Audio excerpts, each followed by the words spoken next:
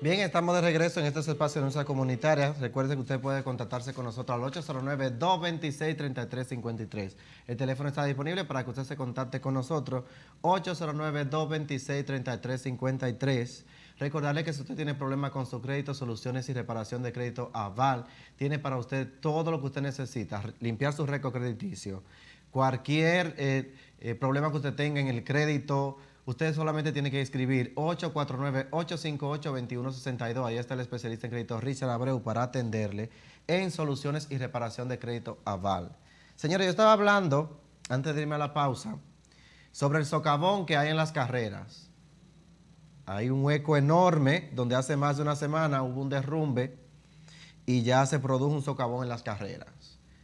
Las avenidas Carrera en Santiago presenta un nuevo hundimiento, específicamente en el tramo Sánchez con Cuba, se ha producido un socavón que imposibilita el tránsito regular por la zona. Esto ocurre 10 días después de que se derrumbara el muro de un puente seco en la referida vía. El hoyo de considerable profundidad ha complicado la circulación regular de vehículos en esta vía tan concurrida en la llamada Ciudad Corazón. El hecho ocurrió anoche luego de que un camión pesado transitara por esa calle, cuyo terreno se ha saturado por la lluvia de los últimos días. Al pasar con la superficie, provocando un socavón en uno de los carriles. Miren qué hueco. Miren qué socavón tan enorme. Las autoridades han tomado la medida de precaución y ha desviado a quienes transitan por esa vía. Asimismo, un personal del Ministerio de Obra Pública y Comunicaciones ya intervino en la zona con brigada de trabajo.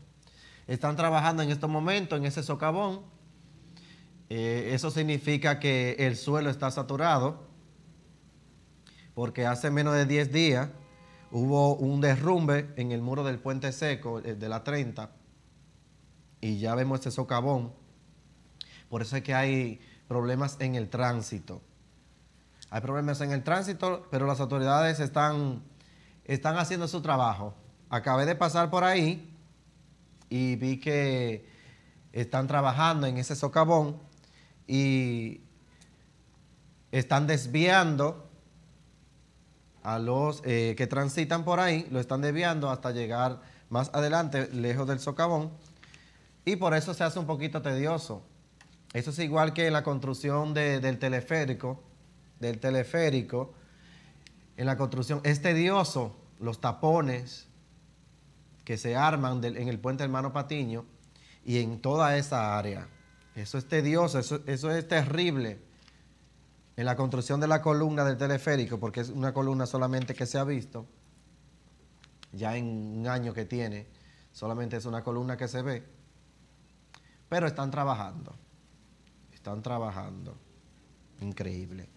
Señores, yo quiero hablar de doña Rogelia, que se ha hecho viral, esa señora, y no voy a dejarla pasar por alto. Doña Rogelia se hizo bachiller a los 64 años bachiller a los 64 años, las precariedades y los golpes que usualmente da la vida no sirvieron de obstáculo para que Rogelia Romero lograra graduarse de bachiller a sus 64 años. Esta es la historia de una señora que pasó de ser una viuda viviendo en un hogar derrumbado a graduarse de honor de la promoción de bachiller de una escuela pública. Vive en el denominado Callejón El Aguacate del sector La Puya, en Arroyo Hondo. A sus 12 años de edad, Rogelia tuvo que dejar la escuela primaria debido a la falta de recursos de sus progenitores para enviarla al aula. El día que mi padre murió, dice ella, le prometí que yo terminaría mi bachillerato para convertirme en la mujer que mis padres soñaron que fuera, explicó la señora. Después de más de 34 años, lejos de un pupitre, soñó de que su progenitor le entregaba un cuaderno y le decía, mi hija, vete a la escuela. Siendo viuda y madre soltera de tres niños, se inscribió en el programa Quisqueya Aprende Contigo, en el que realizó el tercer y cuarto grado. Señores, se me cortan las palabras de emoción de ver a esta señora de 64 años, mírenla, a pesar de la precariedad, a pesar de todo, a sus 64 años se hizo bachiller. ¿Y cuántos jóvenes están perdiendo la oportunidad que le da la vida de hacerse bachiller, de seguir estudiando, porque que no estudia en la vida no es nada. Y miren, esta señora es un ejemplo de superación. Sus padres no le pudieron dar una calidad de educación de vida. Una educación, dice que los maestros de Rogelia no solo se dedicaron a enseñarle lo básico, sino que también se empeñaron en mejorar la calidad de vida de la viuda. Rogelia tiene tres matas de guineo con las cuales sobrevive en los tiempos de producción. Cuando el árbol no tiene fruto, la señora se alimenta de las donaciones de los vecinos y cristianos de la zona. Ella sobrevive con tres matas de guineos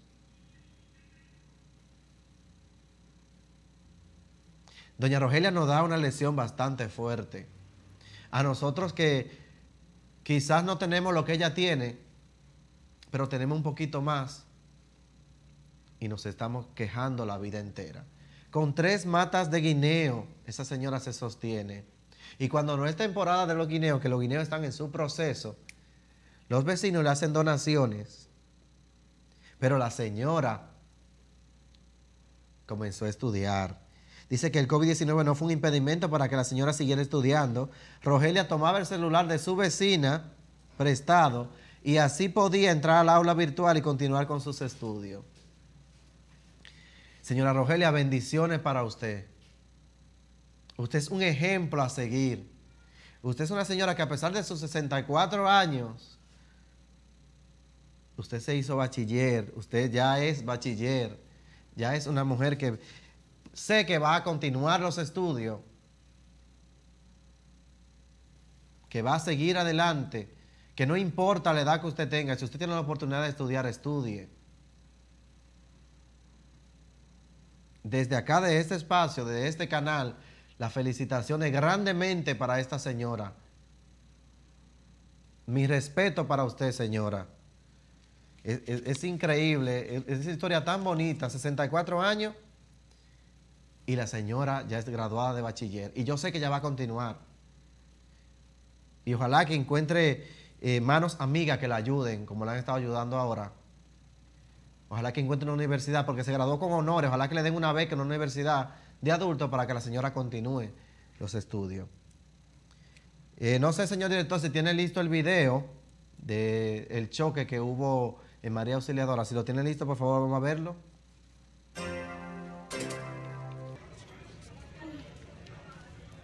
Vida, Señor. Dale salvación, Jehová. Ay, Señor, salva su alma. Es que están ya con la gente, ¿no? Eso fue feo. Pero mira dónde están ellos jugando. Salve esa alma, Señor, salve esa alma, Padre. Porque está agonizando y tiene un golpe muy fuerte en el brazo. Salud ahí. Mírale. ¡Uh!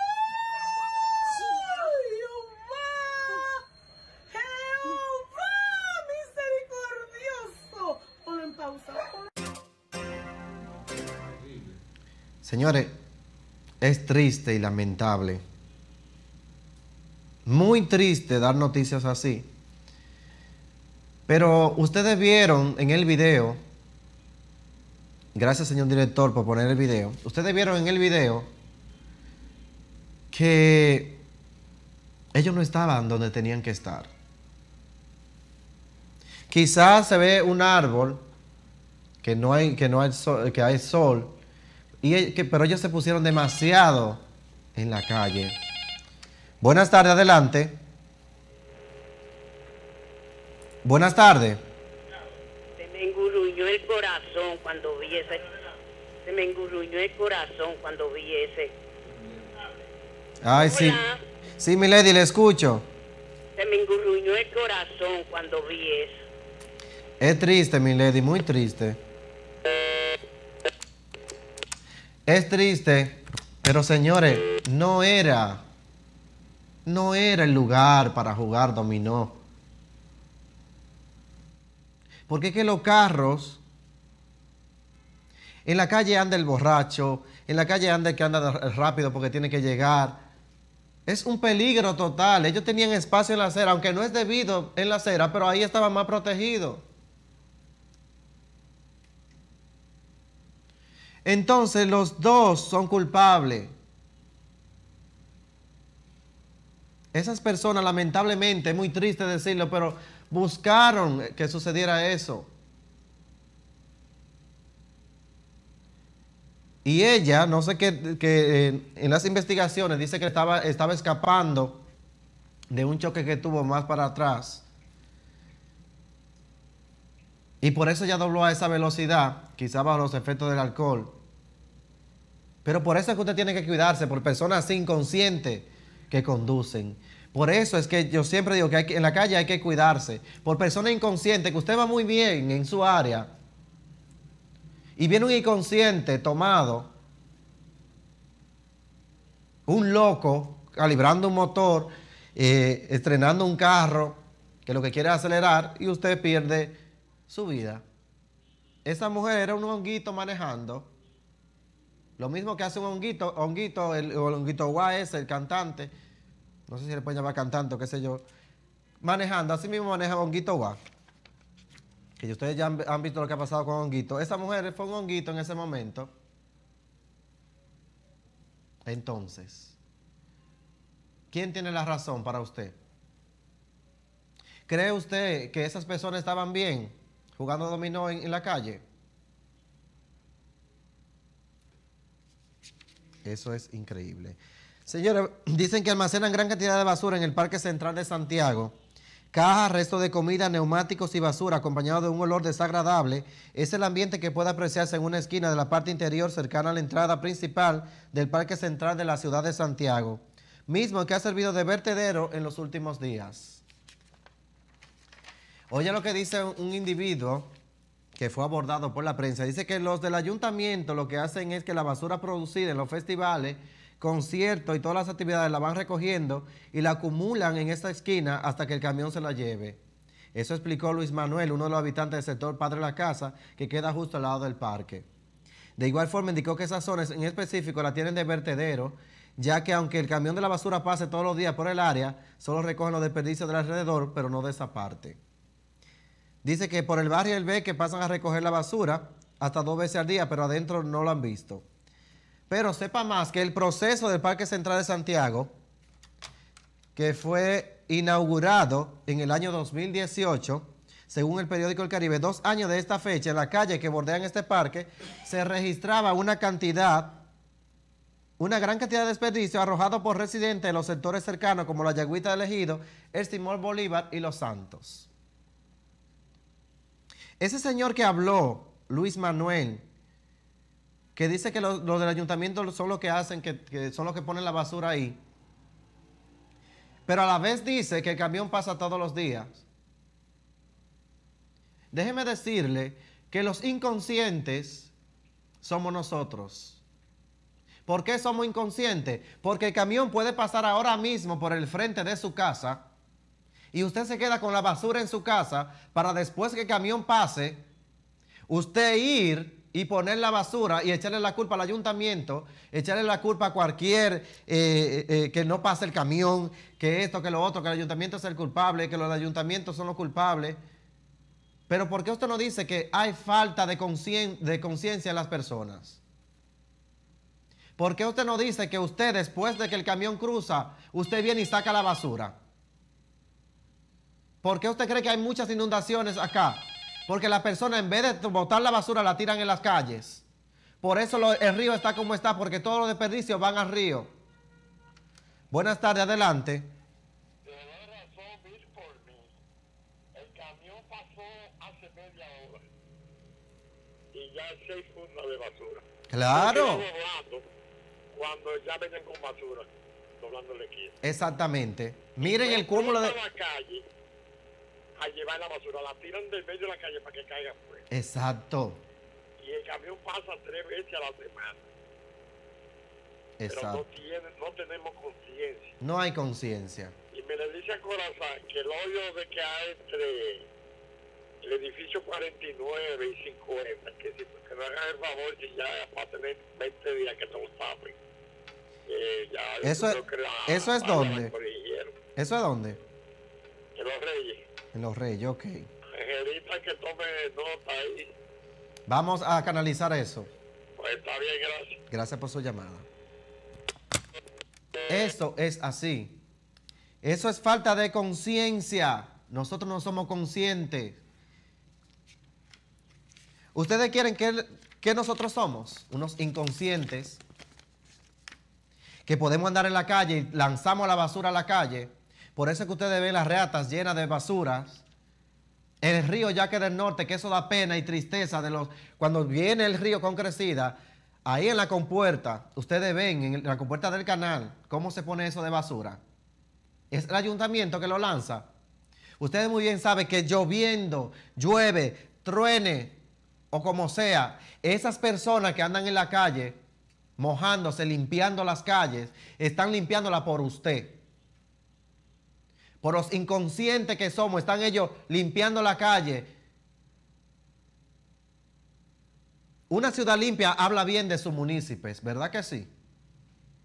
Pero si los municipios somos inconscientes, si los municipios en lo que vivimos eh, buscando, acusando y no haciendo lo que tenemos que hacer y no aportando lo que tenemos que aportar, nunca vamos a vivir bien. Nunca vamos a vivir como tenemos que vivir, limpio y organizado. Y usted muy bien sabe que el alcalde Abel Martínez ha querido transformar a Santiago. Ustedes ven cómo tiene a Santiago limpio. Y ustedes creen que tiene a Santiago limpio. Y es fácil la tarea que él lleva con las personas inconscientes que lanzan la basura simplemente para buscar un culpable. Pudiendo lanzar la basura cuando el camión cruza. Porque eh, si ustedes pueden entrar, ustedes ven la ruta y los días en la página del ayuntamiento ustedes ven las rutas y los días que el camión de la basura pasa a recoger, pero no, usted prefiere sacarla después de que el camión pase para usted hablar las sandeces que ustedes hablan. Vamos a crear conciencia, vamos a cuidar nuestro medio ambiente que lo estamos perdiendo cada día. Todos los días estamos perdiendo nuestra naturaleza. ¿Y quiénes son los responsables? nosotros mismos por la falta de conciencia, por la falta de unión. Y porque no hemos creído una cosa, que buscar un culpable, cuando los culpables somos nosotros mismos, si no cambiamos nuestra manera de pensar, nuestra manera de actuar y nuestro amor en nuestro corazón. Eso es lo que primero hay que cambiar antes de tener el dedo acusador. Bueno, llegamos a la parte final de este espacio. Tenga ustedes un feliz fin de semana. Dios le bendiga. El lunes, Dios mediante, estaremos con nosotros. Bye bye.